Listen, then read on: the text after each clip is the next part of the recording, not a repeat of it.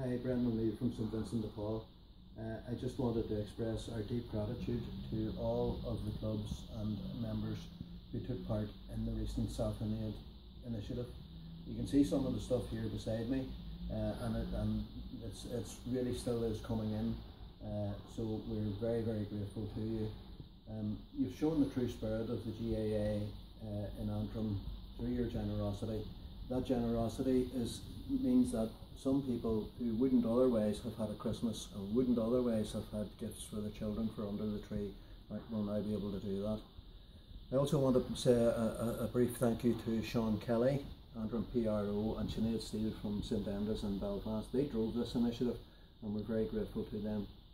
Also to the young Gaels who came to our regional office and took part in the launch of the Saffron Aid initiative, and to those young Gaels also who took part in the trolley dash in the